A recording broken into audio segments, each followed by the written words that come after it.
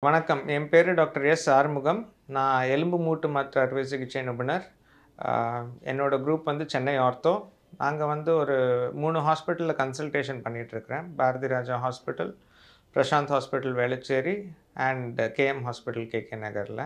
And I've been practicing for the past uh, 22 twenty three years in Chennai patients எனக்கு இருபதுலேருந்து நாற்பது வயசு வரைக்கும்லாம் நிறைய பேர் வருவாங்க. அவங்க எல்லாருக்குமே நீ பெயினோட வருவாங்க. அவங்களுக்கு என்னென்ன காஸ் ஆஃப் நீ பெயின்னு கேட்பாங்க. இது வந்து ஒரு லைன் ஆன்சர் கிடையாது.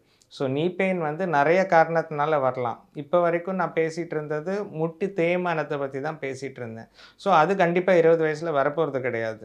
அதெல்லாம் எப்போ வரும்னு பார்த்தீங்கன்னா அர்லியஸ்ட் அதாவது ஸ்டேஜ் ஒன் சொன்னேன்ல படிக்கட்டு ஏறும்போது கொஞ்சம் நீ பெயின் வரும்னு சொன்னேன்ல அது வந்து ஸ்டேஜ் ஒன் ஆர்த்தரைட்டிஸ் அது ஒரு thirty five plus closing in on forty அப்போ தான் தி earliest இது வரத்துக்கான வாய்ப்பு இருக்குது ஸோ அதுக்கு முன்னாடிலாம் வந்துச்சுன்னா it could be because of some kind of injury in childhood so இப்போ இருபது வயசில் ஒருத்தருக்கு முட்டி வலி வருது அப்படின்னு பார்த்தீங்கன்னா ஏதாவது இன்ஜுரி இருந்திருக்கும். அவங்க முன்னாடி விளையாடும் போது கபடி விளையாடியிருப்பாங்க கிரிக்கெட் விளையாடியிருப்பாங்க ஃபுட்பால் விளையாடியிருப்பாங்க.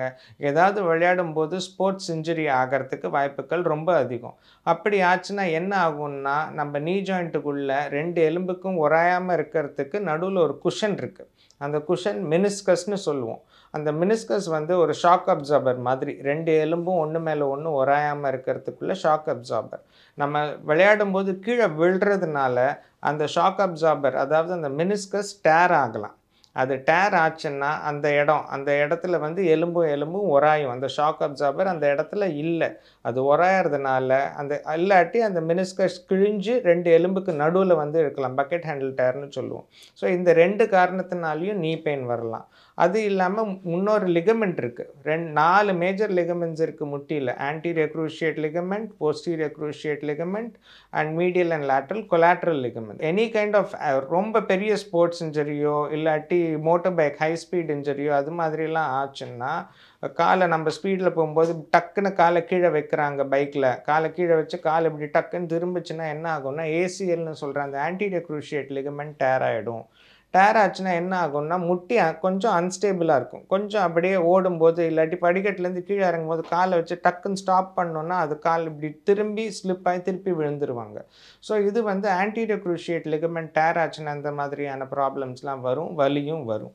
ஸோ வலி மூட்டு வலின்னு காரணம்னு பார்த்தீங்கன்னா நிறையா இருக்குது மினிஸ்கல் இன்ஜுரி இருக்கலாம் க்ரூஷியேட் இல்லாட்டி ஆன்டீரியோ ப்ரோஸ்டீரியோ குரூஷியேட் லிகமெண்ட்ஸ் இல்லாட்டி மீடியல் லேட்டல் கொலாட்ரல் லிகமெண்ட்ஸ் எந்த லிகமெண்ட் டயர் ஆனாலும் வலி வரலாம்.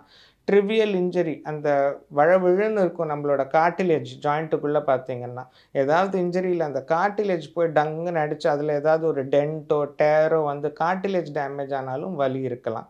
ஸோ நிறைய காரணங்கள் இருக்குது வலி வர்றதுக்கு. அந்த பேஷண்ட்டுக்கு எதனால் வலி வந்ததுன்னு எக்ஸாமின் பண்ணி பார்த்துட்டு எம்ஆர்ஐ தேவைப்பட்ட எம்ஆர்ஐ எடுத்து பார்த்துட்டு அதுக்கு தகுந்த ட்ரீட்மெண்ட் கொடுத்தா கண்டிப்பாக அந்த வலியிலேருந்து தீர்வு காணலாம்.